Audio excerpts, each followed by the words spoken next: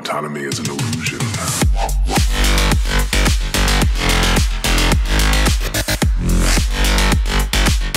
हमारी चेस्ट की first exercise है फ्लैट बेंच प्रेस ये एक्सरसाइज आपके पेक्ट्रोलिस मेजर को टारगेट करती है और इसके आज के सेट्स कुछ इस प्रकार रहेंगे।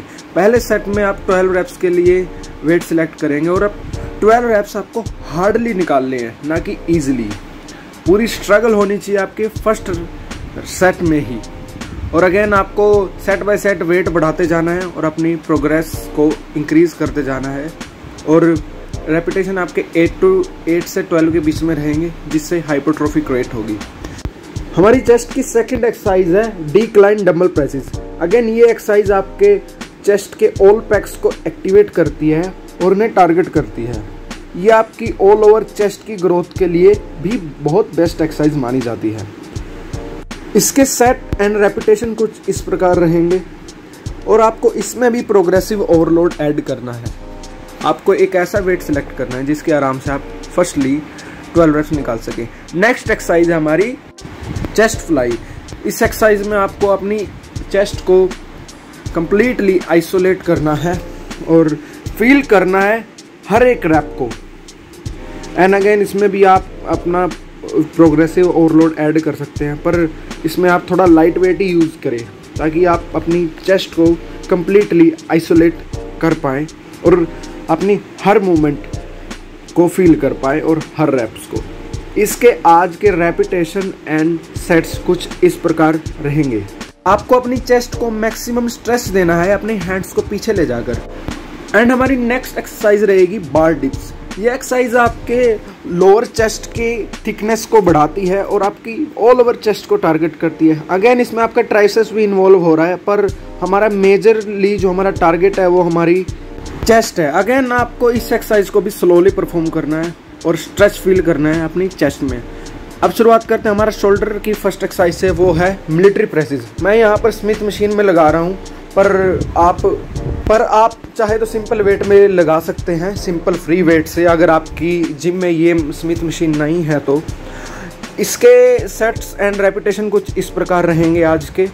और नेक्स्ट हमारी एक्सरसाइज है लेटरल रेजेज ये one of the best and favourite exercise है मेरी। एंड बहुत बेस्ट एक्सरसाइज मानी जाती है आपके साइड डेल्ट्स को डेवलप करने के लिए। एंड अगेन इसमें आप मॉडरेट वेट चूज़ करें। और अपने माइंड एंड मसल कनेक्शन बनाकर रखें और हर रेपिटेशन हर मोमेंट को फील फील करें। हमारी शोल्डर की लास्ट एक्सरसाइज है डंबल श्रग्स आप चाहे तो यहाँ बारबल का भी यूज़ कर सकते हैं, पर मैं डंबल्स के साथ थोड़ा कंफर्टेबल रहता हूँ तो मैं यहाँ डम्बल यूज़ कर रहा हूँ। आपको थोड़ा सा स्लाइडली बेंड देना है अपने पोस्चर में एंड देन इस एक्सरसाइज को परफॉर्म करना है। इसके आज के सेट्स कुछ इस प्रकार रहेंगे। एंड रेपिटेशन भी कुछ इस प्रकार रहेंगे। तो इस एक्सरसाइज के साथ ही हमारा शोल्डर एंड चेस्ट का वर्कआउट यहाँ ख़त्म होता है। तुमको क्या लगता था? वीडियो खत्म हो चुके हैं। नहीं नहीं मेरे भाई, थोड़ी सी बाकी है। अगर आपको, आप सब लोगों को किसी, कोई कंफ्यूजन है इन वीडियो से रिलेटेड तो आप इसकी ओवर वीडियो ओवरव्यू वीडियो मैंने बना रखी है। एंड स्क्रीन पर आपको मिल जाएगी। आप एक बार उसे ज़रूर देखिए। उससे आपको क्लियर हो जाएगा कि हम इस ट्रांसफॉर्मेशन सीरीज़ में क्या कर रहे हैं किस किस प्रकार का वर्कआउट लगा रहे हैं। एंड मेरे भाई, अब की बार नौ बहाना। शेयर करना मत भूलना। ऐसे बंदे के साथ ज़रूर शेयर करना जो हमेशा अपने वर्कआउट्स को लेकर कंफ्यूज रहता है। उसके पास कोई पर्टिकुलर वर्कआउट प्लान नहीं है। वो कोई मर्ज़ी वर्कआउट प्लान फॉलो कर लेता है। और इसी कारण उस बंदे की ग्रोथ नहीं हो पाती है।